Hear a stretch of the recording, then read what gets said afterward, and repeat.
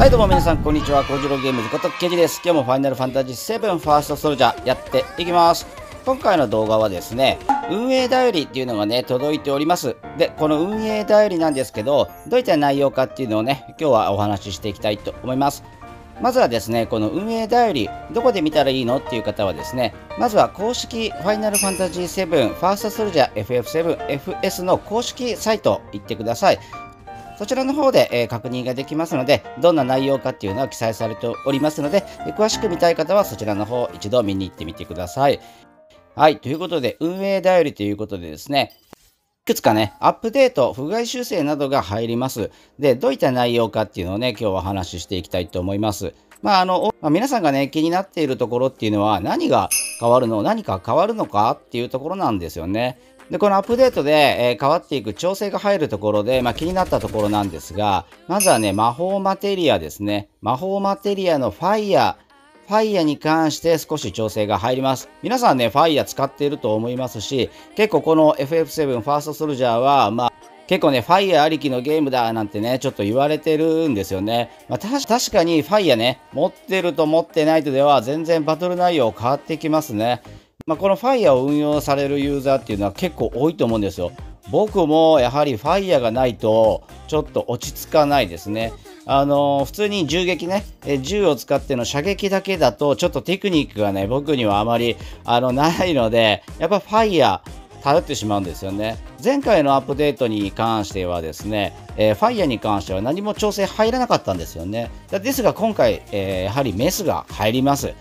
どんな風にファイヤーが変わるかというとですね、このファイヤーはマテリアのね、MP 消費1で使えるっていうのがすごく運用コストが良かったんですよね。しかも、レベルが上がってファイラ、ファイガになると爆風範囲と威力も上がってですね、本当に心強い強いマテリア、魔法だったんですよね。MP 消費は1そのままなんですよね。ですがそのね、ダメージ、威力と爆風範囲に関することが少し調整入ります。で、レベルが上がってファイラ、ファイガになってくると爆風範囲っていうのも広がります。なので危険度がさらに上がるんですよね。自分が使う側としたら有効的なんですが、受ける側としたらかなり驚異的な魔法マテリアなんですよね。で、この爆風範囲っていうのはおそらく狭まると思います。おそらく狭まって、かつ、ダメージも下がっていくと思います。上昇。今まで通り使いやすいまま、それは残したままっていう風には記載があるので、多分、まあ、おそらく MP 消費は1のままで、ファイヤーのダメージと爆風範囲それに及ぶダメージは少し、えー、下方修正しますよということだと思います。まあ、これに関してはですね、まあ、賛否両論あるのかなとは思います。まあ、僕なんかは本当ね、ファイヤーは、えー、貴重だし、これ以上ね、威力下げられると射撃にまた頼らないといけないのかなと思うんですが、まあ、まあ、ファイヤー手ゲームなんてね、言われてしまっているので、そこはやはりちょっと調整ね、メス入れて下方修正してきたのかなっていう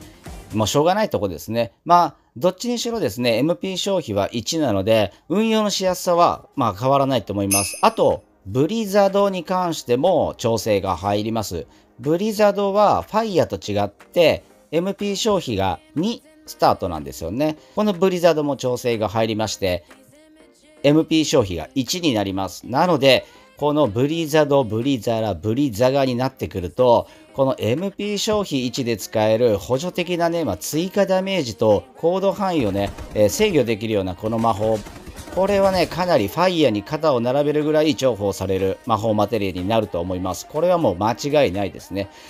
サンダーに関しては調整が入っていないので、やはりこのファイヤーとブリザードに関しては少しまだ引きを取ったままになるのかなというふうに思います。あと他にもですね、チョコボ関連も少し調整が入ります。あの、チョコボキックのね、ダメージ、これは前回のアップデートで少し下がりました。なので、チョコボキック一発で落とすっていうのが少しね、えー、減ったんですが、このチョコボキックさらに調整が入ります。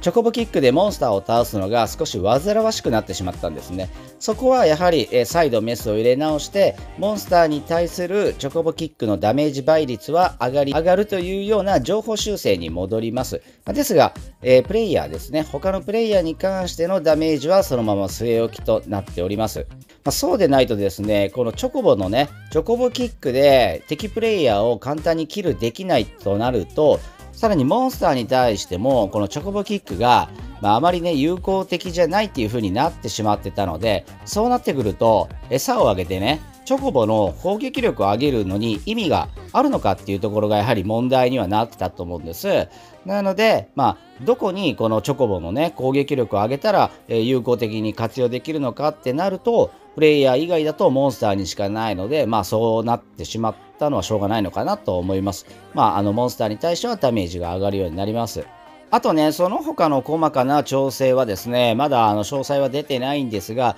大まかな、え調整として大事なところは、ファイヤのダメージ修正と、それとブリザードの MP が2から1に下方修正、使いやすくなります。あとチョコボのチョコボキックがモンスターには効きやすく再度メスが入るっていうことですね。まあ、この3つくらいはしっかりと頭に入れといた方がいいですね。これは今度のメンテナンスで修正されるそうです。で、あとですね、もう一つお話ししたいことがあるんですよね。今度ですね、1月の18日の火曜日から1月の20日の2日間にかけてですね、イベントが開催されるんです。このイベントなんですが、どういうイベントかというとですね、ランキングイベントなんですよね。要はこの期間中にポイントを稼いでランキングを出すというようなイベントになってるんですよ。イエーイっていう感じですね。まあ僕はあまりね、上手なプレイが僕はできないんですよね。バトルはやはりどっちかっていうと苦手な範囲、苦手な部類なので、まあ、でもあの FF が好きだし、こういったバトルはって新しい試みにすごく気に入ってて楽しく遊んでるんですよね。まあ、でもこういったね、ランキング PVP 対人戦でランキングってなってくるともう本当に自信はないんですよね。なのでうんどうなのかな。まあやってみてできそうなら続けようかなとは思うんですが18日から20日に行われるイベントなんですが実は先行イベントになります。で今僕がねこれ動画を配信しているんですが僕はですね FF7 ファーストソルジャーの公式公認アンバサダーっていう立場にあるんですよね。要はこの FF7 ファーストソルジャーを皆さんにお伝えしていく役目を担っているわけなんですよね。そういった方が他にもいるんですよ。皆さんもね、耳にしたことあるしご存知かと思うんですが、一応アンバサダーっていう風にね、まあ、案内人、紹介人みたいな、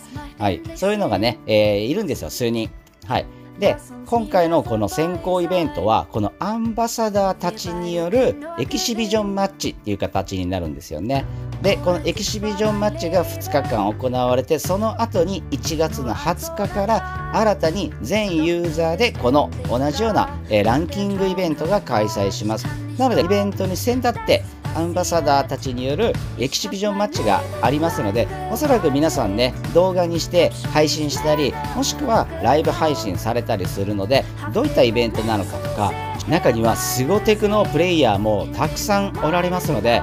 まず最初にですねこういった配信者たちが出したこの競技型イベントのね、えー、内容を見ていただいて楽しんでいただいたらいいのかなと思います。僕ももちろん参加します。ですが僕はですね、本当に苦手なんですよね、このバトルは。いつもね、これプレイして腕を磨いてるんですが、やはりですね、僕はね、ヘタレプレイヤー代表と言ってもいいほどヘタレプレイヤーなので、えっ、ー、と、なかなか優勝、チャンピオンにはなれないんですよね。上位には食い込めても、それもまぐれ、毎回まぐれで言ってるようなもんなので、次やってくるこのアンバサダーたちによるエキシビジョンマッチ、どこまで生き残れるのか、どこまで食い下がれるのか、もうね、あのー、恥をさらしてでも僕は挑戦しようと思っています。で、その動画もね、できたら出していこうと思うので、また見てほしいなと思います。で、この先行エキシビジョンマッチ、さっき言いました、アンバサダーによる、えー、エキシビジョンマッチって言いましたが、実は他にもですね、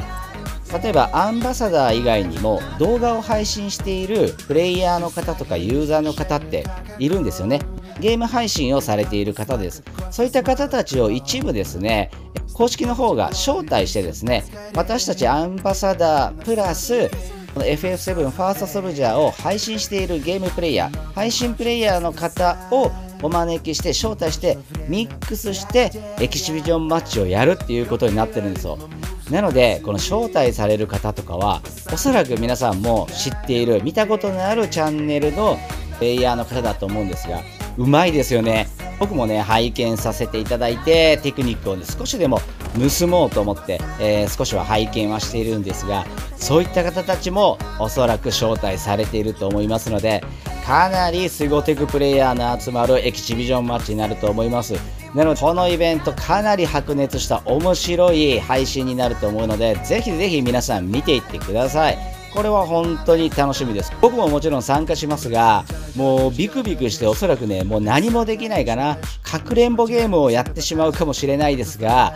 少しでも生き残れるように食い下がっていこうかなと思います。はい。なので今度ねえ皆さんも参加できるイベントは1月の20日からになります。それに先立って18日から20日の2日間はアンバサダープラス招待プレイヤーによるエキシビジョンマッチが開催しますのでおそらく動画の方は皆さん配信されると思いますのでぜひそれもね楽しみに待っていてほしいと思いますもちろん僕も参加しますがどうなることか分かりませんまあ、あの、ヘタレプレイ見てみたいという方はね、そういったお気の毒な方はぜひね、チャンネル登録していただいて、今度の配信を待っていただいたらと思います。はい、ということで今回はですね、運営代理ボリューム3ということで、公式概要欄に公式サイトのね、URL も貼っておきますので、ぜひそちらの方もチェックしてみてください。今回はですね、運営代理ボリューム3に含まれる、まあ、修正内容ですね、まあ、そういったところを少しお話と、今度新たにやってくるイベントの内容のお話をさせていただきました。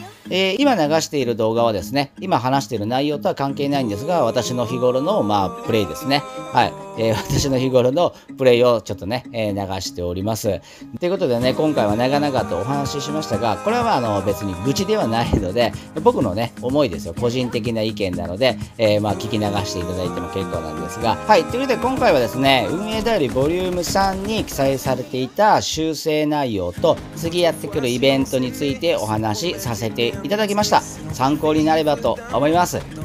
ぜひね、次のイベント皆さん楽しみに待ちましょう。ということで今回はこんな感じで終わります。ご視聴ありがとうございました。この動画が参考になった、面白かったよ、お前ヘタレだけど頑張れよ、応援してやるぜっていう方はチャンネル登録、高評価よろしくお願いいたします。それでは皆さん、イベントで出会ったらよろしくお願いいたします。それではまた次の動画で、バイバイ、京次郎ゲームズでした。